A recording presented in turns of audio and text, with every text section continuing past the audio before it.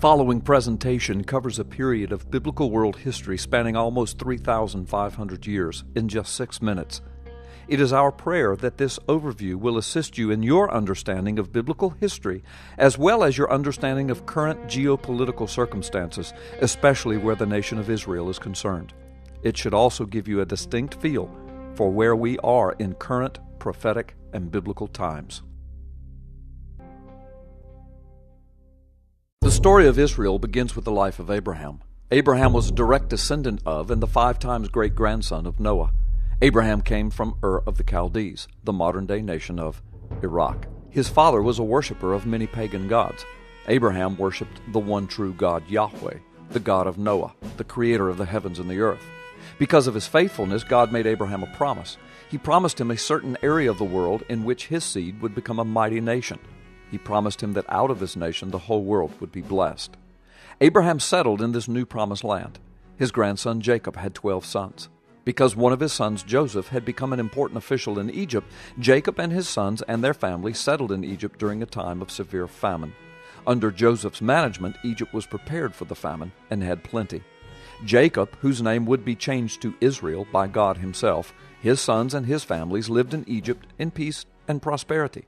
But many generations later, spanning a period of some 400 years, the descendants or the children of Israel were now living as slaves in the land. They were despised by the Pharaohs and the Egyptians. God raised up a deliverer, however, by the name of Moses to bring out of Egypt the children of Israel and to take them back to the promised land and settle them there. After 40 years of preparation, the giving of the law and the Ten Commandments, a system of sacrifice and worship, and a system of societal laws, the children of Israel were now ready to enter God's land of promise. They settled the land according to their twelve tribes or family groups originating from Jacob and his twelve sons. A new nation of over one million people was now born. The nation thrived and expanded under a system of judges for several hundred years. In about 1020 BC, Israel had their first king, Saul. Their second king, David, began ruling in 1004 BC. David established Jerusalem as the center of Israel, the capital and the center of Israel's worship of God. David's son, Solomon, was the next king. He further increased their power, wealth, and prosperity, and he built the first permanent temple and expanded trade with the nations around him. After Solomon, the nation went through a civil war. It was fought between the north and the south. The nation wound up divided. The northern kingdom was called Israel with its capital at Samaria and the southern kingdom was called Judah, with its capital at Jerusalem. Over the hundreds of years that followed, the northern kingdom was attacked, defeated, and carried off into captivity by the Assyrian Empire. Ten tribes were now gone from the land. The Babylonian Empire eventually captured and carried off the remaining two tribes of the southern kingdom. The temple was destroyed and the city walls and gates were torn down. This happened in 586 BC.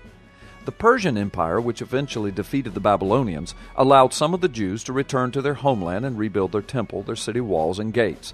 They were still subject to the Persians, however, and were not an independent nation. All the while, there were strange and hopeful prophecies that one day Israel would return to the land in her full glory and power and would continue in that glory until the Messiah himself established his throne in Jerusalem. After the Greeks defeated the Persians, the Jews eventually rebelled against their new captors in 166 BC and eventually retook and reclaimed Jerusalem, the temple, and some of the surrounding area in 164 BC. They were still not an independent and secure nation, though. It seemed the prophecies of a return to Israel would never be fulfilled. In 63 BC, the Romans conquered the area, and once again, Israel was under complete domination of another foreign power. It was into this world and time frame that Jesus the Christ entered. In 70 AD, the Romans expelled the Jews from the area of Jerusalem and the surrounding territory.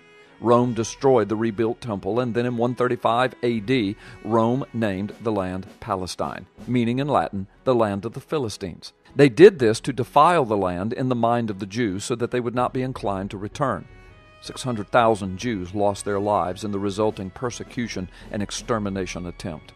In the hundreds of years that followed, the dispersed Jews desperately desired to return to their homeland. Many attempts were made and failed. World War I further divided the land and confused the problem. In 1917, British Foreign Minister Balfour pledged support for establishment of a Jewish national home in Palestine.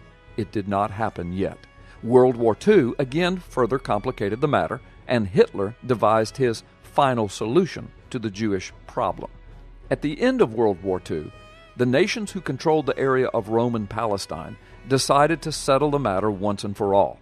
Under a United Nations resolution, a certain portion of Palestine or ancient Judea was given to the Jews, and the other portions were given to the Arab occupants and settlers.